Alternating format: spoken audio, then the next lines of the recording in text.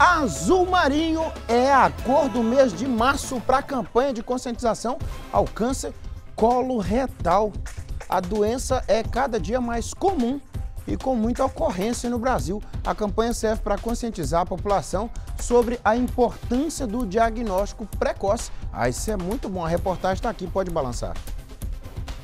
O câncer de colo retal é o terceiro tipo mais comum no Brasil. Segundo o Instituto Nacional de Câncer, aproximadamente 41 novos casos são detectados por ano. Esse número pode ser menor se houver prevenção. Para os especialistas, o câncer de colo retal acomete 12% da população. 50% são mulheres, outros 50% são homens. No caso de quem nunca teve esse tipo de problema na família, deve-se fazer o exame de colonoscopia aos 45 anos de idade.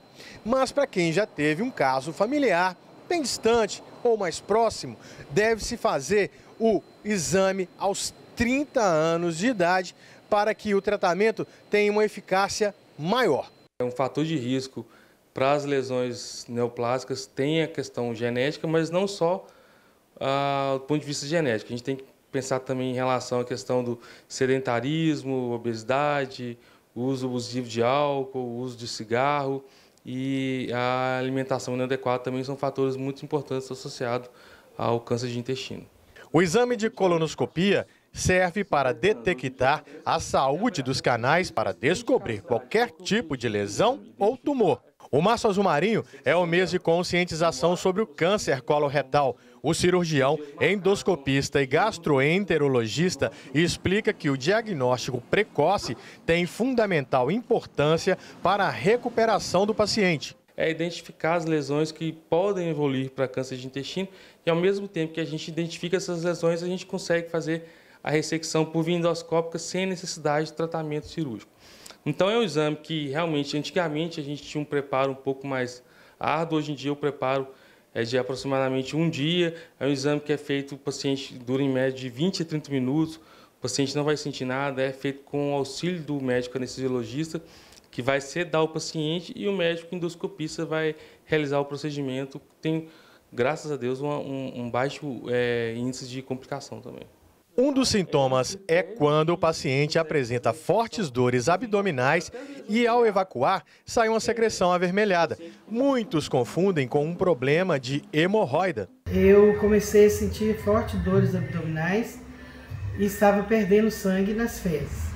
Então, procurei um médico e o médico me encaminhou para fazer os exames, entre eles a colonoscopia. Fazendo a colonoscopia, detectei o problema no intestino. Na grande maioria das vezes, o principal sintoma é a hematoquesia, que é o, o sangue associado às fezes. Importante também a gente salientar é, em relação às doenças hemorroidárias, não confundir. Alguns pacientes acham que quando tem apresenta um sangramento junto às fezes está associado a hemorroida, mas nem sempre está associado a hemorroida, por isso é importante a avaliação do especialista. Não só a questão em relação ao sangramento, a gente tem outros sintomas e sinais como perda de peso, alteração de hábito intestinal, as fezes às vezes podem ter um quadro de constipação ou então diarreia, alteração da consistência fecal, pode apresentar também muco nas fezes e anemia. Como é o dito popular, é melhor prevenir do que remediar. É, o conselho que eu dou às pessoas é o seguinte, quando estiverem sentindo esses sintomas, procurar o um médico e procurar fazer os exames, inclusive a colonoscopia, porque quanto mais cedo for detectado o problema, é, melhor a gente consegue se recuperar. Então, graças a Deus, eu creio que eu estou conseguindo é, me recuperar. Em relação à questão da probabilidade de cura, a gente sabe que as lesões que estão restritas apenas ao intestino, você tem uma sobrevida de cerca de 90% em 5 anos. Quando você tem um acometimento local avançado, tem uma sobrevida de 70%. E na, nos casos mais avançados, quando a gente fala que já está cometendo outros órgãos, que é o chamado metástase de distância, que é a grande maioria das vezes que são feitos os diagnósticos, você tem a sobrevida de apenas 10% em 5 anos. Eu posso falar, recentemente eu fiz esse exame, né? Fiquei fora do ar aqui dois dias, terça e quarta apresentei na segunda.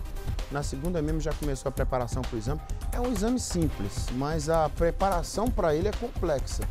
Isso eu posso dizer, é complexa e bem enjoada, porque chega uma hora que não pode ingerir mais alimento sólido, é, às vezes nem água, né? Aí, então assim, fica bem complicadinho. Mas é um exame tranquilo. Anestesiologista é, participa, você dorme ali aqueles segundos, minutos, né? A pessoa faz o exame, graças a Deus o meu está tudo tranquilo, não deu nada negativo. Mas às vezes a pessoa, a ideia da conscientização é que a pessoa deixa para fazer quando o problema já está grave, né? Quando o problema já está grave, né? Ou então não só isso, né, Jarão? Fica com medo do exame acaba não fazendo, né?